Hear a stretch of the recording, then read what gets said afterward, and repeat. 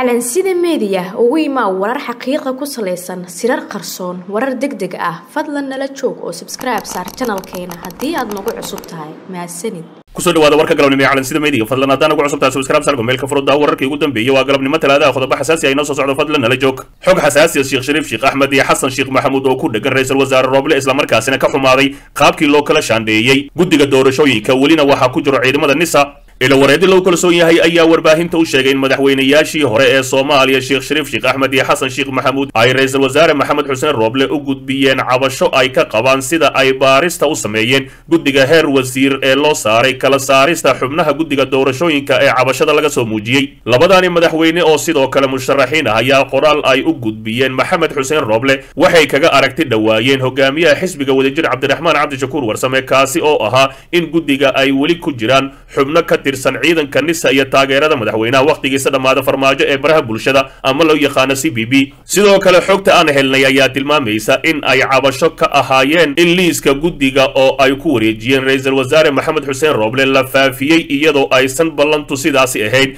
Sheekh shariif sheekh axmed iyo xasan sheekh maxamuud ayaa sheegay in aan wax wada tashi ahay laga yeelan qaabka baarista islamarkaasina aan lala wadaagin natiijada ka hor inta aan la shaacin iyagoo qoraalkooda ku dalbaday in dib u eegis mar kale la sameeyo si loo helo doorasho aan boob ahayn shaacinta liiska ayaa loo arkaa qorshe looga hortagayo in gadaal laga farageliyo liiska iyada oo la tuhmayo inay ka dambayso villa soomaaliya. Si mucaaradka loogu dhigo kuwa cabasho joogto ahay wada. Sheekh shariif xasan sheekh maxamuud iyo musharaxiin kale oo weli si toosa meediyaha ula hadlin ayaa waxaa la sheegay xasan sheekh maxamuud iyo sheekh shariif waraaqad u gudbiyeen rooble. Sababta aysan xasan iyo shariif si shaacsan uga hadlin arrintaani ayaa lagu sheegay inaysan doonaynin inay culays siyaasadeed saaraan rooble oo ay u arkaan nin wax badan ka qabtay arrimihii laysku hayay balse ay rabaan in wax walba hab hoose lagu xalliyo. Dhinaca kale war qoraal ah oo ka soo baxay taliyaha ciidanka ilaalada xeebaha ee maamulka hirshabelle korneel cusmaan maxamed maxamuud xaadoole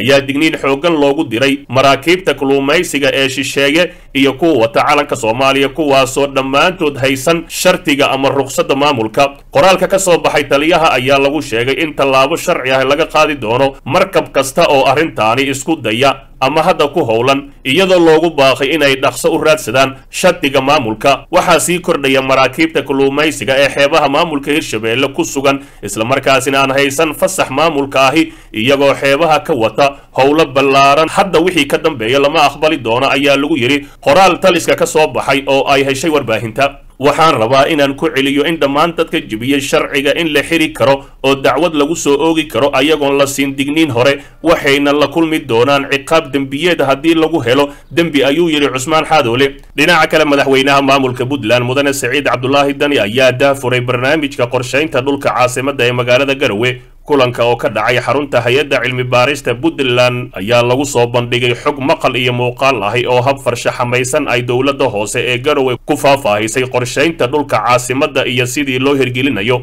Madaxweyne dani ayaa u digay dadka inta badan dhulka xoogga ku qabsaday isagoo farilaamaha amniga iyo hay'adaha garsoorka in dadkii lagu helo dhul boob la marsiin doono sharciga cadaaladda madaxweynaha ayaa muujiyey muhiimadda ay leedahay in mustaqbalka garowe loo diyaariyo mid horumarsan oo ka qurux badan dhinaca dhismaha iyo dhinac kasta wuxuuna ku baaqay dowladda iyo shacabka intaasi laga wada shaqeeyo maadaama ay naanfacaysa ayuu yidhi horumarka caasimadda puntland.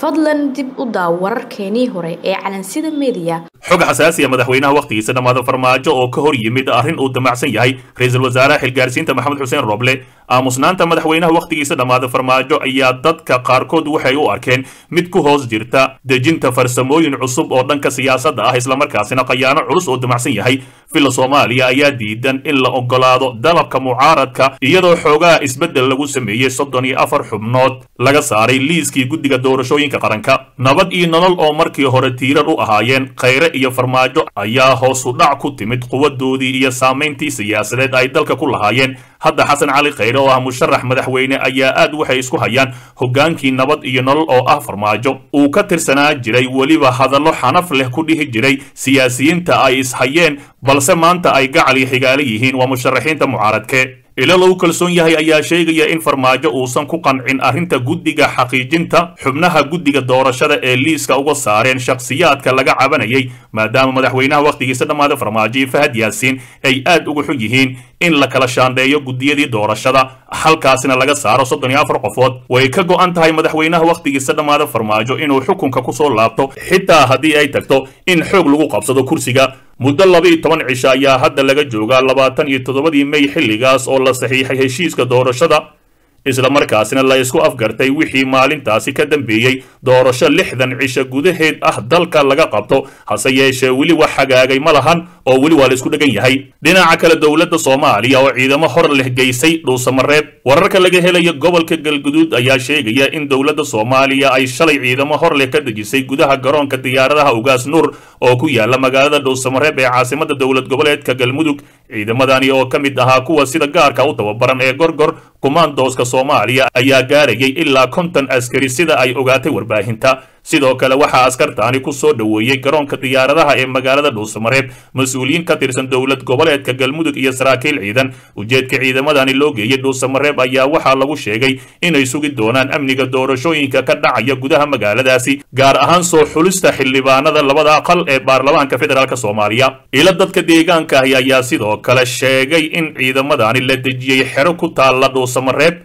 iyaga oo howlgallo ballaaran ka bilaabi doono isla degmadaasi. Galmudug ayaa horay u shaacisay kadib heshiis lagu gaaray magaalada muqdisho inay bilaabi doonto qabashada doorashada gaar ahaan tan xildhibaanada soomaaliya. Waa magaaladii labaad oo ay sidoo kale dowladda dhexe ciidamo u dirayso waxaana dhuusamareeb ka horreeyey jowhar oo la geeyey ciidamo ka mid ahay kuwa harmacad si kastaba dhuusamareeb waxaa horay uga howlgalayay ciidamo ka tirsan kuwa dowladda oo lagu daabulay xilligii doorashada ee madaxweyne axmed cabdikaariyo qoorqoor. Farmaajo ayaa damacsan magaalo kasta inuu ciidan geeyo islamarkaasina waxa uu doonayaa xildhibaano halkaasi asiga taageersan in ay ka soo baxaan. Waa haddii ay u suura gashee dhinaca kale shir lagu heshiisiinaya maleeshiyaa dagaalamay oo ka furmay magaalada matabaan degmada matabaan ee gobolka hiiraan waxaa ka furmay shir dib u heshiisiin beelaha wadadega galbeedka iyo waqooyiga degmada matabaan oo dhowr jeer halkaasi ku dagaalamay. Ujeedka shirkaani ayaa ah sidii loo dhammaystiri lahaa colaado muddo soo noqnoqday oo u dhexeeya labada beelood iyada oo dagaalkii dhex maray uu geystay khasaaro dhimasho iyo dhaawacba leh shirka waxaa goobjoog ka ahaa odayaal waxgarad iyo culimaa uddiin waxaana diiradda lagu saarayay sidii isfaham iyo xal waara looga gaari lahaa colaad beeleedyada soo noqnoqday ee u dhexeeya maleeshiyo beeleedyada wadadega deegaanada hoostaga degmada matabaan dhowr jeer ayaa waxaa dagaalo u dhexeeyey laba maleeshiyo beeleed waxa uu ka dhacay deegaano hoostaga degmada matabaan waxaana shirar dhacay lagu guulaystay. In dagaalka la joojiyo hase ahaatee heshiis culus ayaa iminka la kala gaaraya